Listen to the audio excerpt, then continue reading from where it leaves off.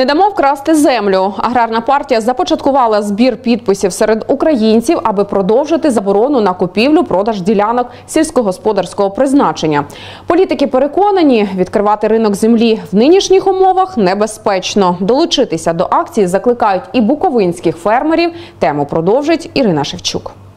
Аграрна реформа в Україні стартувала з добуттям незалежності. У 1991 році урядовці поставили перед собою завдання створити сприятливі умови для формування сільськогосподарського комплексу нового типу, відмінного від радянського. Та 26 років по тому ці здобутки незначні, каже лідер аграрної партії Віталій Скоцик. Ми є абсолютним рекордсменом в світі по тривалості проведення земельної реформи, але прийшли до того, щоб замість якісного виписаного законодавства купка олігархів хоче вкрасти усього українського народу українську землю. Зараз Конституційний суд України розглядає подання щодо визнання неконституційним мораторію на продаж земель сільськогосподарського призначення. Та на думку Віталія Скоцика, країна не готова до відкриття ринку землі. Коли ми їдемо сьогодні по Сокарянському району чи Кельменецькому району, ми побачимо, що багато людей працюють на своїх власних паях. Вони навчилися заробляти на цьому гроші.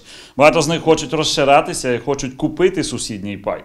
І нам треба зробити так, щоб людина не придумувала різні схеми, як їй це тре- можна зробити там через міну чи через якісь інші речі, і зробити так, щоб не іноземець чи олігарх не скочив у цей процес, щоб люди дійсно цивілізовано могли працювати з землею Нині законодавство дозволяє пайовикам здавати землю в оренду, залишати її у спадщину та обмінювати на іншу. Заборонено ж продавати, змінювати цільове призначення ділянки чи передавати її у заставу. На сьогоднішній день нема економічної основи, хто може купити землю. Землю можуть купити тільки іноземці, для яких долари це бумага, а нам їх треба заробити.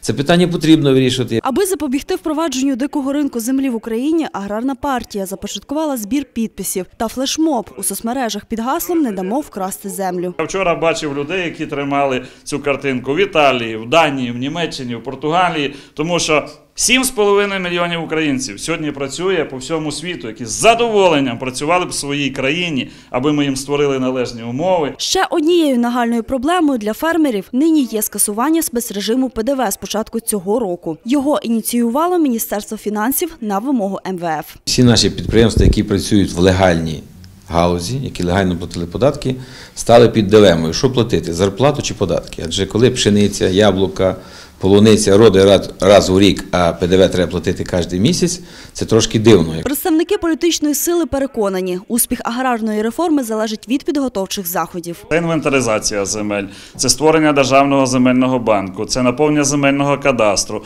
це розмежування ділянок е, комунальної, приватної, державної власності. Це перший етап. Наступний передбачає. Це не продавати сировину за кордон. Ми повинні створювати додану вартість у своїй країні. Тут ми повинні створювати переробні підприємства, створювати робочі місця, платити реальні е, заробітні плати з реальною покупівельною здатністю, з належним надходженням до місцевого і загальнонаціонального бюджету. Ірина Шевчук, Микола Остафія, Чернівецький промінь.